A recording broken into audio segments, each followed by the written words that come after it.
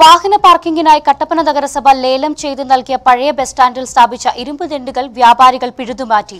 വ്യാഴാഴ്ച വൈകിട്ട് നാലോടെയാണ് പഴയ ബസ് സ്റ്റാൻഡിനുള്ളിലെ വ്യാപാരികളും സി ഐ ടി യു നേതാക്കളും എത്തി പേ ആൻഡ് പാർക്കിംഗ് പേ പാർക്കിംഗിനായി നഗരസഭ അളന്ന് തിട്ടപ്പെടുത്തി സ്ഥാപിച്ച ഇരുമ്പ് ദണ്ടുകൾ പറിച്ചുമാറ്റിയത്. വ്യാപാരികളുമായി കൂടിയാലോചിക്കാതെയാണ് വിഷയത്തിൽ നഗരസഭയുടെ ചടുല നീക്കമെന്ന് ആക്ഷേപം. ബസ് സ്റ്റാൻഡിനുള്ളിലെ കച്ചവടക്കാരുടെ അഭിപ്രായം കേൾക്കാതെ ഏകപക്ഷീയമായിട്ടാണ് നഗരസഭാ ഭരണസമിതി ബസ് സ്റ്റാൻഡ് ലേലത്തിൽ നൽകിയതെന്നാണ് പ്രധാന ആക്ഷേപം. ബുധനാഴ്ച രാത്രിയിലാണ് നഗരസഭാ ജീവനക്കാർ പോലീസ് സംരക്ഷണത്തിൽ പാർക്കിങ്ങിനായി ഇരുപതണ്ടുകൾ സ്ഥാപിച്ചത്.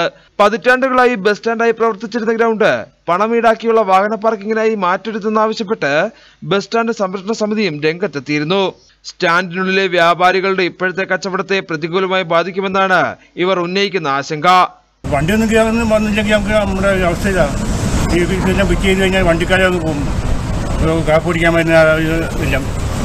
നമ്മൾ വർഷങ്ങളായിട്ട് ഇവിടെ രാത്രിയും പാചകം ഇവിടെ കഷ്ടം ചെയ്യുന്നവരാണ് അപ്പോൾ ഈ വണ്ടി വന്നു കഴിഞ്ഞാൽ അങ്ങനെ അങ്ങ് ഇട്ട് കഴിയുമ്പം ഇനിയൊന്നുമില്ല ഇവിടെ ആരും ഗ്യാസ് ഇല്ല. ഇങ്ങോട്ടൊന്നും പിന്നെ നമ്മളിവിടെ ഇപ്പൊ ചുമ്മാ വായി പറ്റുള്ളൂ വ്യാപാരികൾക്ക് പിന്തുണയുമായി സി ഐ ടി യു രംഗത്തെത്തിയിട്ടുണ്ട്. വ്യാപാരികളുമായിട്ട് ഒരു സംസാരമോ ഒരു കാര്യങ്ങളോ നടന്നതായിട്ട് അറിയത്തില്ല. ഇവിടുത്തെ വ്യാപാരി സമൂഹത്തിനോട് കട്ടപ്പന മുനിസിപ്പാലിറ്റി ഭരണാധികാരികളോ ആരും എന്നും വിളിച്ചൊരു ചർച്ചയോ ഒന്നും ചെയ്തിട്ടില്ല.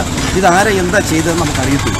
ഇങ്ങനെ ഈ സ്റ്റാൻഡിൽ ഇതുവരെയും ഇല്ലാത്ത ഒരു പുതിയൊരു സ്ഥിതി വിശേഷം അങ്ങും ഇങ്ങും മൂന്നാൽ കാലം നാട്ടിയിരിക്കും അതവർ പൊളിച്ചു കളഞ്ഞു. വിഷയവുമായി ബന്ധപ്പെട്ട് മുമ്പുണ്ടായിരുന്ന എതിർപ്പുകളെല്ലാം മറികടന്നാണ് നഗരസഭ ലേലവുമായി മുമ്പോട്ട് പോയത്.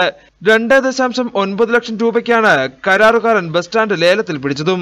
എന്നാൽ പറഞ്ഞ സമയത്ത് ബസ് സ്റ്റാൻഡ് വിട്ടു നൽകാതെ വന്നതോടെ കരാറുകാരൻ പണം തിരികെ നൽകണമെന്ന് ആവശ്യപ്പെട്ടിരുന്നു. തുടർന്നാണ് കഴിഞ്ഞ ദിവസം നടന്ന കൗൺസിൽ യോഗത്തിൽ ബസ് സ്റ്റാൻഡ് ഉടനെ അളന്നു തിട്ടപ്പെടുത്തി കരാറുകാരന് കൈമാറുവാൻ തീരുമാനിച്ചത്. ഇരുപതിണ്ടുകൾ പിഴുതുമാറ്റിയ സംഭവത്തിൽ നഗരസഭാ അധികൃതർ ഇതുവരെ പ്രതികരിക്കാൻ തയ്യാറായിട്ടില്ല. News bureau Kattappana.